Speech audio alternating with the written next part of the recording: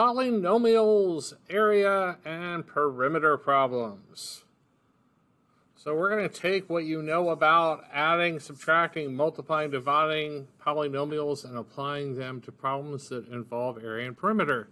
So our first problem, how do you find the perimeter of a trapezoid? Well, I see my four sides on a trapezoid. There is a formula for area, but for perimeter, to find perimeter of a trapezoid, we just need to add up all the sides.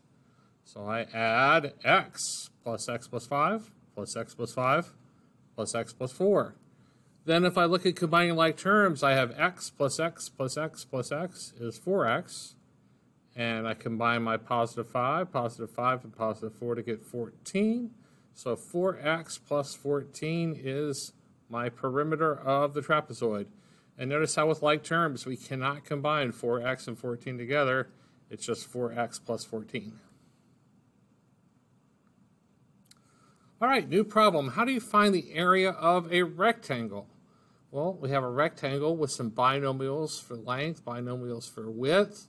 How do I find the area of a rectangle? Well, area of a rectangle is just length times width. So I have a length and width of x plus 5 and x plus 4. So notice how I'm multiplying a binomial times a binomial. And there is a method for multiplying a binomial times a binomial called FOIL, first, outer, inner, last. Multiplying using FOIL is, this method is only for multiplication of a binomial times a binomial. It is not for add, not for subtract. It's only for multiplying a binomial times a binomial. So if I do first times first, x times x is x squared. Outside, x times 4 is 4x. Inside, 5 times x is 5x. And for last, we have 5 times 4 is 20. Then I do have some like terms in the middle here. I have 4x and 5x. This would combine to be 9x. And my answer, 4x squared plus 9x plus 20, is the area of the rectangle. Moving right along here, let's go to a new example. How do I find the area of a square?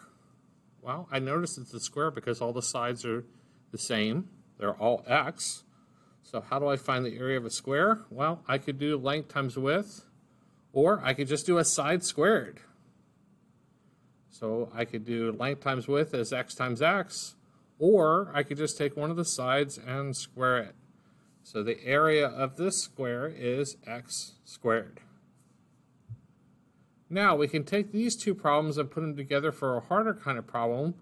How would we find the shaded area? How would I find that pinkish area? Hmm, well, I have a rectangle and I have a square. Oh, and they look very familiar because we just found the area of a rectangle with a length of x plus 4 and a width of x plus 5, length and width of x plus 4 and x plus 5, and we found the area of a square with a side of x. Um, how do I find the pink area? Well, in general, what I want to do is I want to take the area of the large rectangle and I want to subtract out the area of the square. So to find just the pink area, I'm finding the area of the large rectangle and I'm subtracting away the area of the small square and the amount that's left is just the pink shaded area. So we had already found the area of the rectangle with x plus 4 and x plus 5 as length and width. We found it as x squared plus 9x plus 20.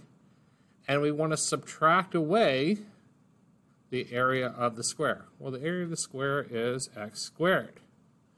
So now I just have some like terms. Well, what happens when I combine a 1x squared and a negative x squared?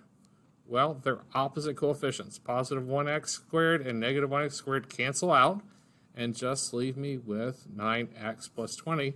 So 9x plus 20 would describe the shaded area in pink.